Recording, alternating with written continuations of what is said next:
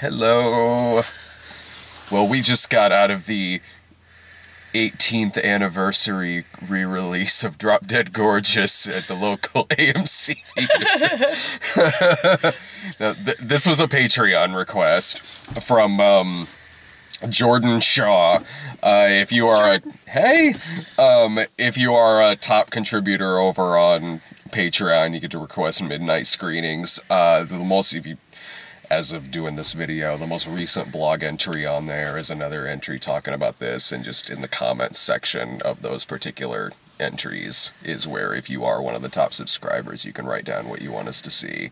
And uh, his he he wrote it down in the comments, going, "Yeah, could you and Sarah watch the 1999 movie Drop Dead Gorgeous?" No reason, really. I just really like the movie, and well, wanted another perspective on it. you haven't seen this movie before, have you? I haven't. Uh, I recognize like everybody in it. yeah, yeah. Mm-hmm. And you know when um, Denise Richards showed up with the, the Mount Rushmore on her head, Uh huh. I think I've seen. I I remember the like, the previews for Yeah. it when it was coming out in theaters. Um, but yeah, no, I'd never like I had to ask you what it was about. The name didn't even. I was picturing a um the movie where Goldie Hawn is like a candelabra through her stomach.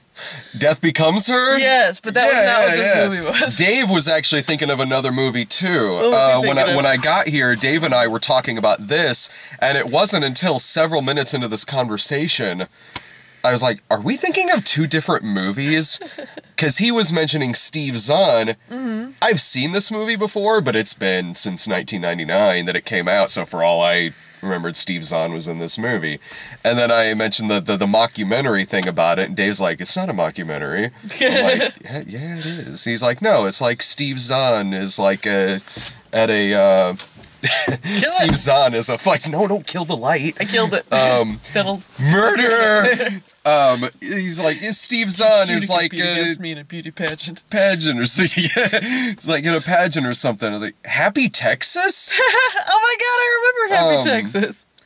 and I, I wish, like bank robbers, right? And they have Yeah. to pretend to be pageant runners. yeah, that's it. Yeah, yeah. I completely forgot about that movie.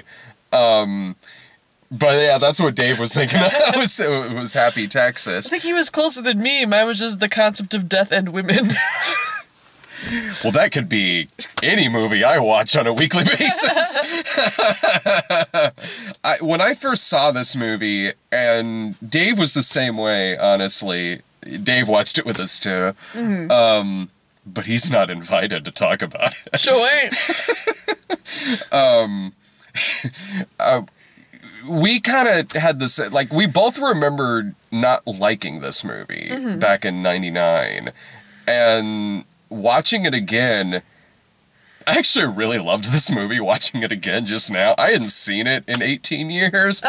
And Dave and I, uh, when you went off for a second in there, Dave and I were both kind of like, I guess I can kind of maybe see where I was coming from 18 years ago. Only in the sense that I imagine maybe I was kind of burnt out on teen movies or something then when this movie came out. Because I rented it. The movie was out for, I don't know, a couple of weeks or something like that. This movie wasn't out very long. And I don't remember it getting that good of reviews.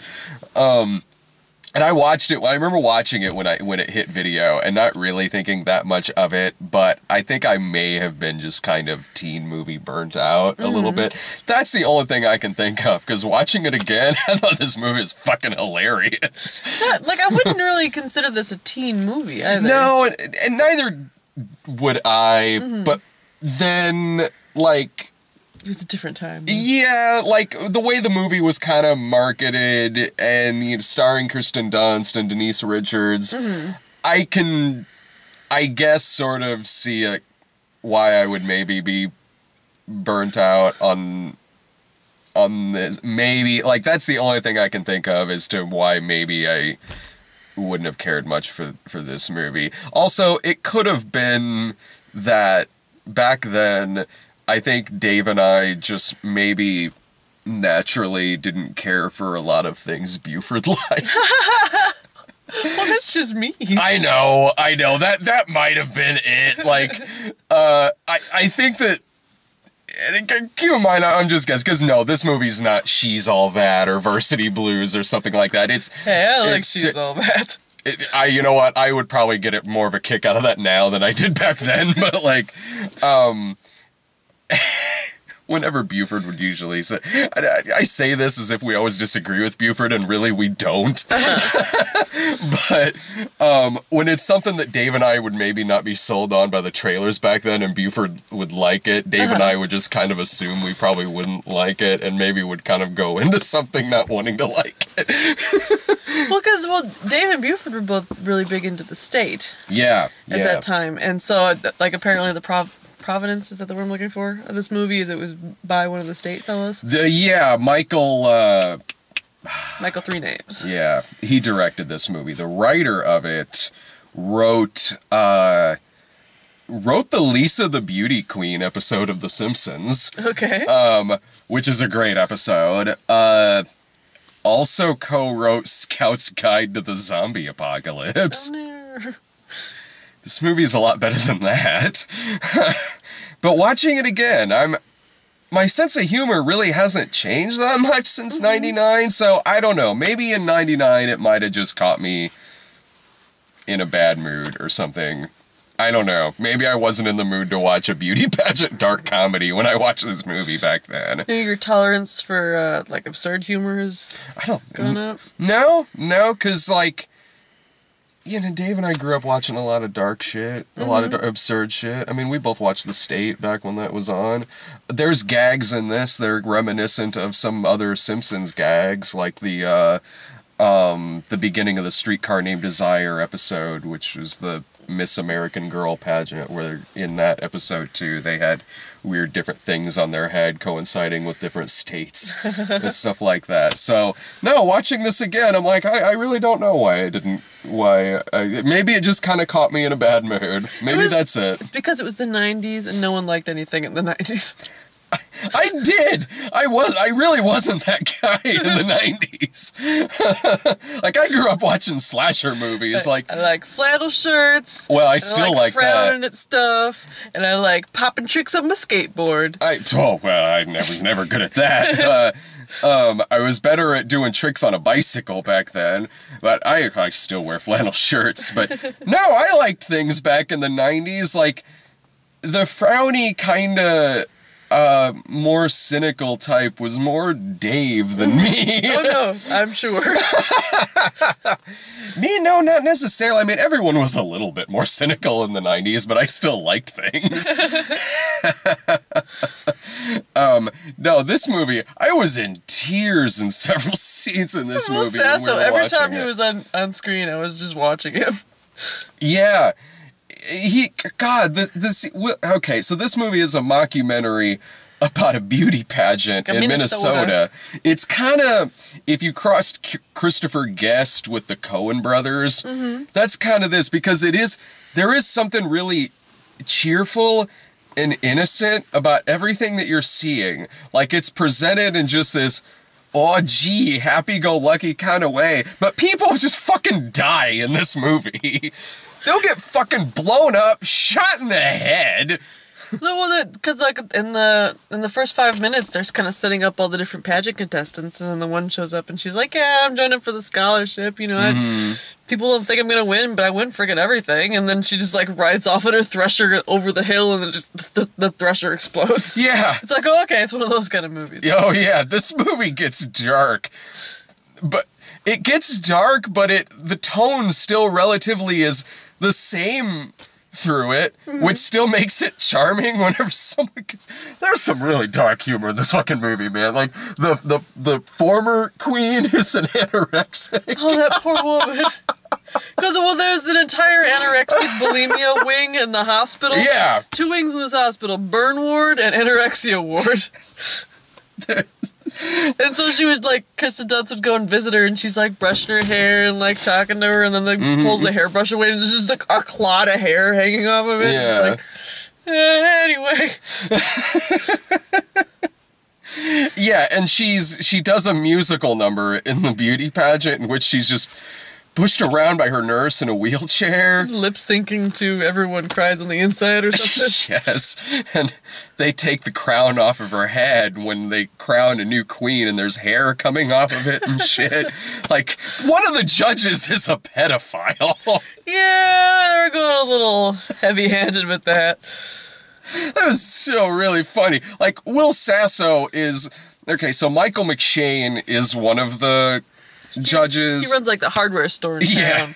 Him and his um, mentally ill brother. Everyone, everyone calls him a retard in this movie, and I think it, again it's because it's the '90s, and it was hilarious to call someone a retard.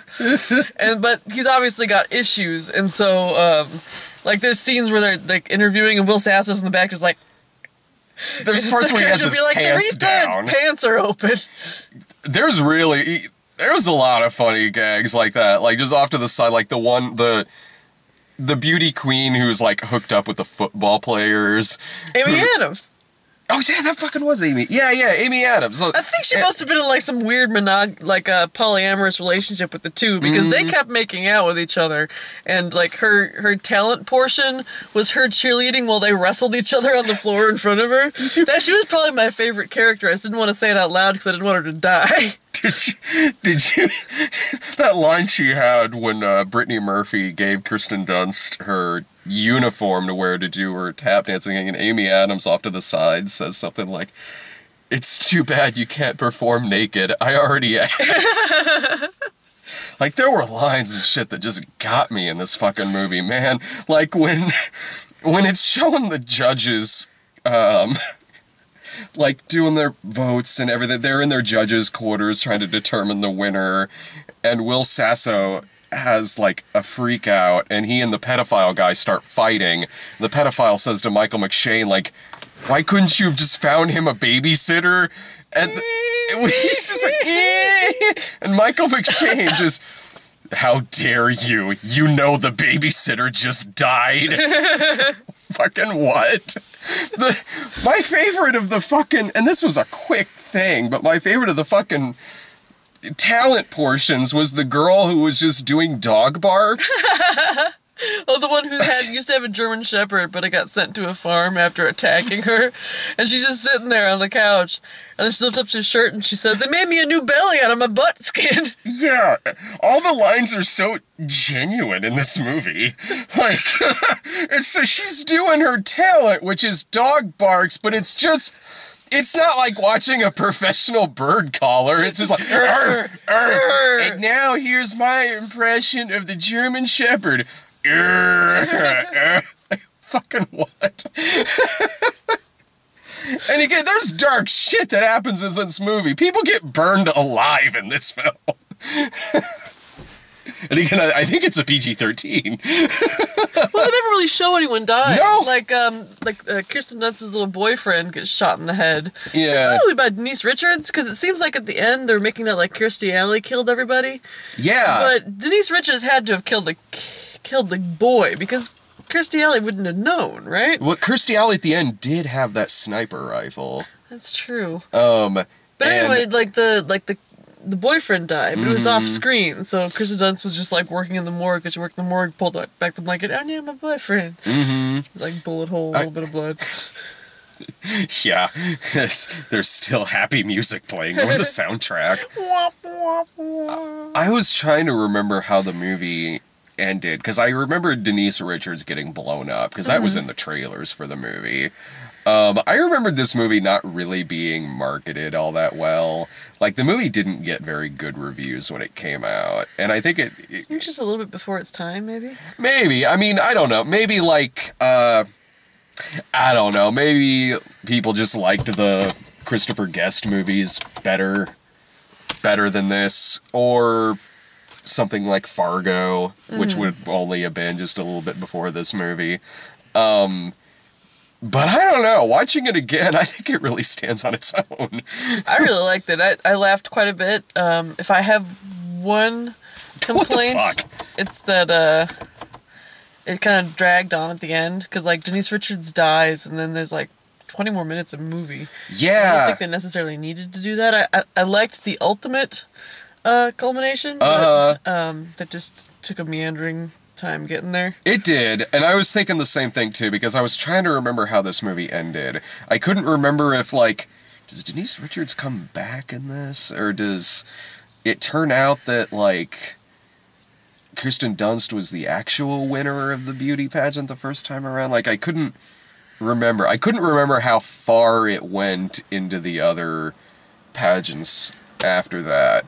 But where it does, and you're right, I was thinking the same thing too. I was like, oh, this movie actually could have ended like 10 minutes ago. But where it did end up still had some good gags. There's like a whole, what the fuck? Don't worry, Barry Gibb just saved it. anyway. We're back. So, uh, what was I saying?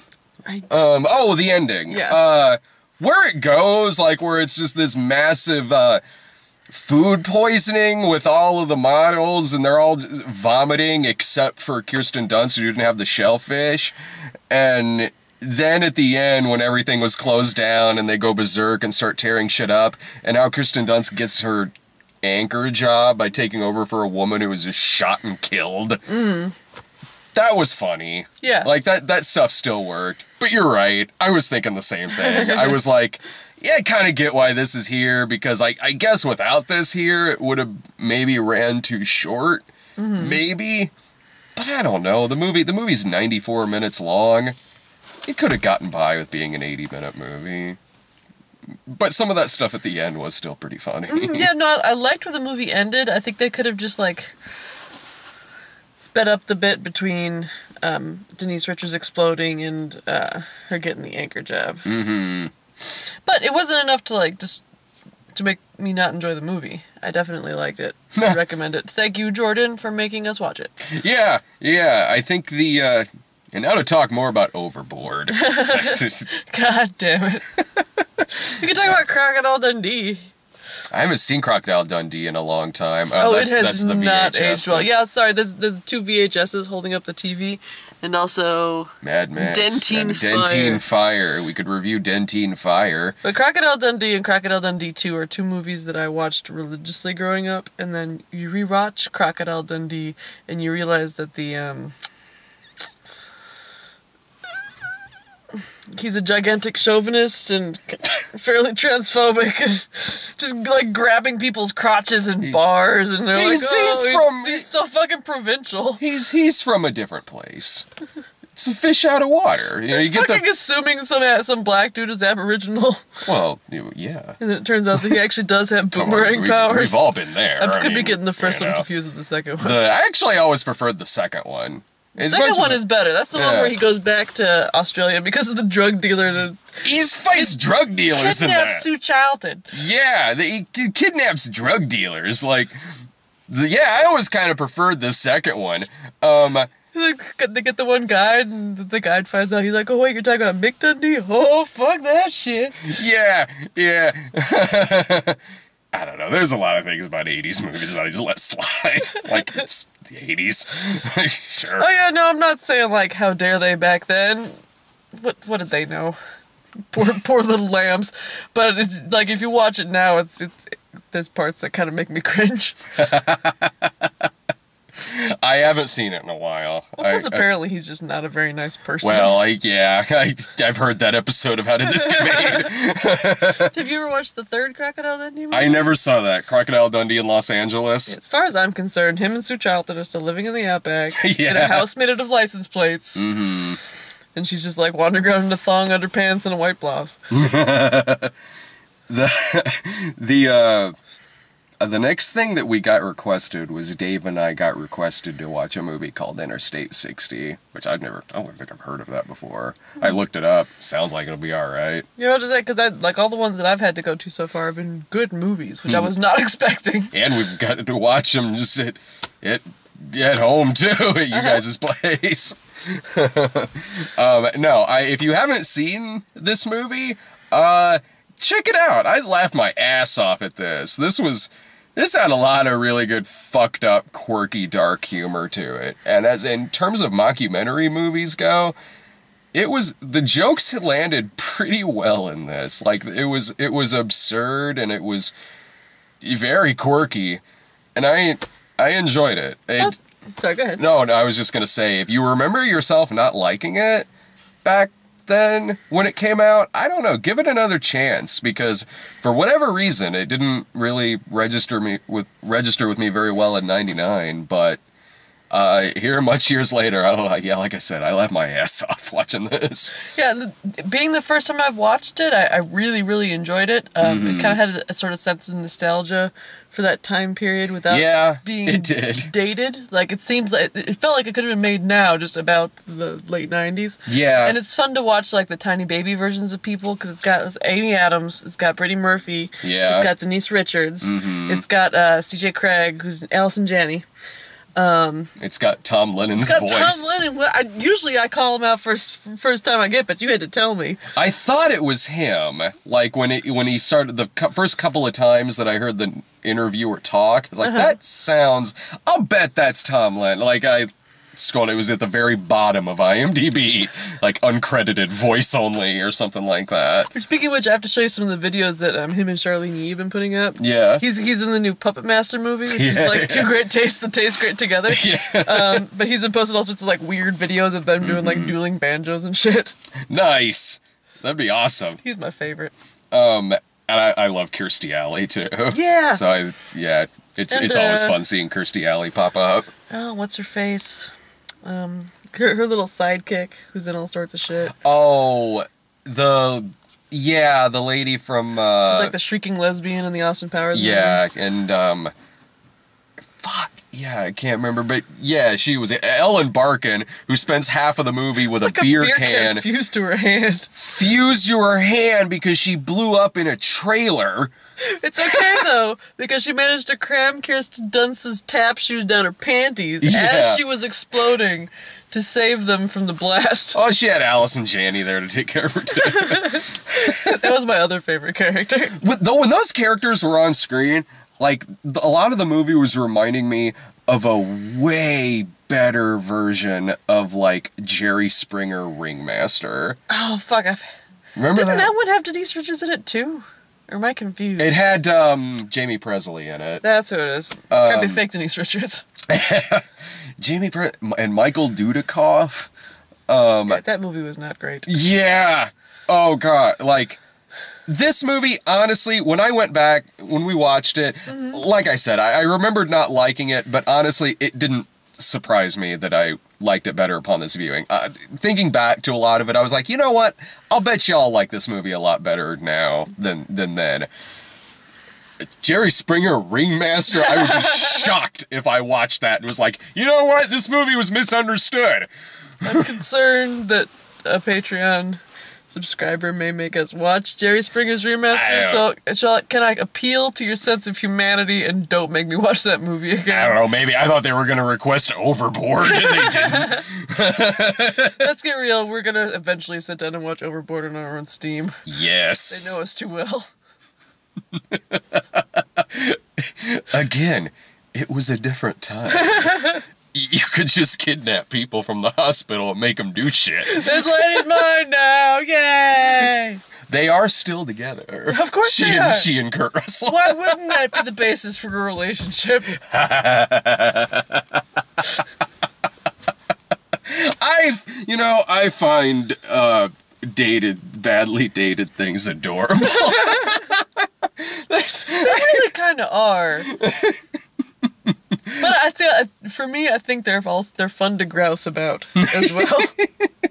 it's fun to look at shit and go like, you know, you probably could, couldn't do that exact script nowadays. Like as much as I love Revenge of the Nerds, it's got some fucked up shit in that movie. Yeah. Man, some of those characters belong in prison. like which which is the John Hughes movie where he like like rapes by deception that one guy's girlfriend? that was that wasn't Hughes. That was oh wait, you're thinking of. uh I know. I sorry. I thought you were talking about um, Lewis and Betty and uh, Revenge of the Nerds. It could very well Um, be like it, it seems to in- happen a lot in the 80s where there's in- like a stuck-up female character who's dating like a jock and the guy decides to get one over on her by pretending to be his boy pretending to be her boyfriend having sex with her and she's like I guess we're dating now. In 16 candles Anthony Michael Hall hooked up with the cheerleader girl when they were drunk. Mm-hmm. Um, I don't remember her thinking that. Uh, I could be telling a lie, but if you know what movie I'm talking about, by all means, drop me a line. I also seem to recall there's a movie where like he he just like gets in the car with the girl and drives off with her, and she's like, "What? No!" And then that's just the end of that scene. I thought you were gonna say it's the end of the movie. I'm like, what the hell? Um, It's the end of that movie and the beginning of a much darker movie. here's, one of the most fucked up things I've seen in a while. Like, um, two things. Remember the scene? You ever see License to Drive with the two Corys, where uh, uh, Heather Graham is the love interest and she's like passed out in the back seat. So Corey Feldman takes out the old camera and is like, "Ooh, bra!" Click, click, click.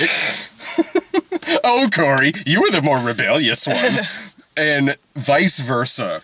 Which is a movie I still love, but it's got a fucked up scene in it. Um, you know, have you seen Vice Versa? The sw- body switch movie with Judge Reinhold and Fred Savage was like, I wish I could change places with you, Dad. Me too, son. Switch. Ah!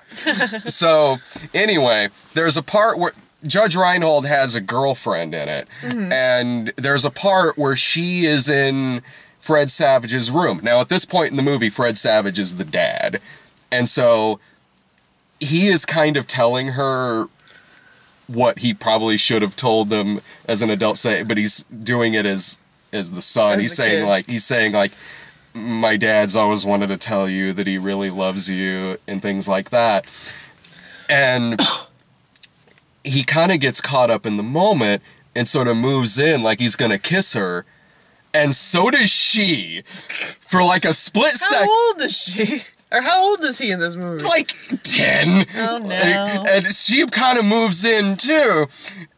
And then Judge Reinhold walks in. Thank God. so I've seen this movie hundreds of times and I forgot how fucked up that is. I was watching it with Allison not too long ago, and both of us were like, wait, what? Both you say thank God when Judge Reinhold walks in, but that's a whole nother layer of wrong because that's Fred Savage walking in on your his dad in his body about to make out with his girlfriend. oh, no, no, no. He, they do, like, uh, Judge Reinhold and the girlfriend are like making out at one point, and Judge Reinhold's body with Fred Savage's brain Yeah. is making out with the girlfriend. Yeah, and then and then Fred Savage comes in and goes, "I feel sick."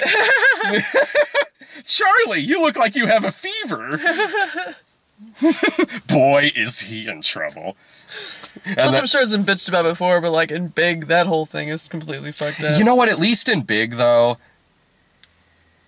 that movie has a much more kind of dramatic psychological level to it Uh-huh. than vice versa, which is just kind of Yeah, like maybe he's just like a child at heart, you know, and she's all like, you know, I bunk bed, I'm on top. But then at the end, he's like, oh, turns out I'm 10. And she's like, all right, well, look me up in 12 years. Oh well, yeah. I mean, like, it, yeah. I mean, any movie like that is going to have maybe a few issues, but like, at least in Big, it gets fairly dramatic as the movie goes along. Like, he does start actually becoming an adult in the in the film. Like, at Yeah. least, at least that is a little bit more smarter written than like than vice versa, which is a fun movie, but it's it's goofy and it's it's it's you know it's goofy and it's just supposed to be kind of slapsticky. Um, any one of these movies, go ahead and suggest to us. I'll watch Vice Versa again and Overboard and License to Drive. Or it suggests us another good movie that I've never seen because I enjoyed this movie great. Yeah, it's gonna be it's gonna be something random that none of us have heard of, probably. anyway, talk to you later. Bye. Bye.